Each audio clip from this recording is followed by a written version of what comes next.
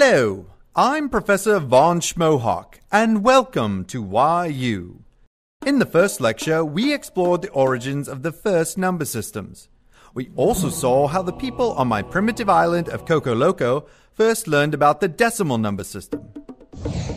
Once the Cocoloconians discovered decimal numbers, we could do much more than count coconuts. We could do arithmetic calculations with coconuts. The first arithmetic operations we invented were addition and subtraction, which came in very handy when dealing with coconuts.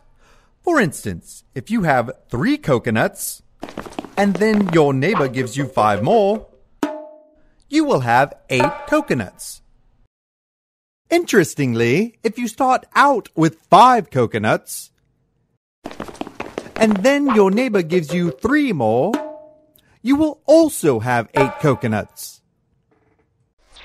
For some reason, 5 plus 3 gives you the same answer as 3 plus 5.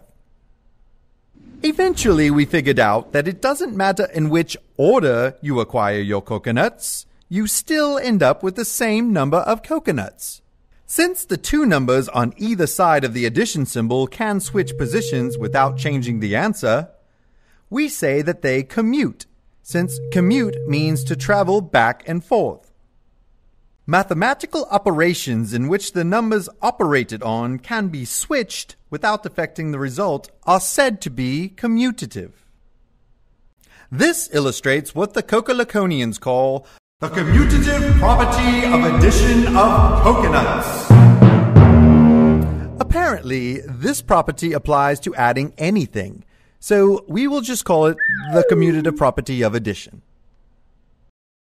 So addition is a commutative operation.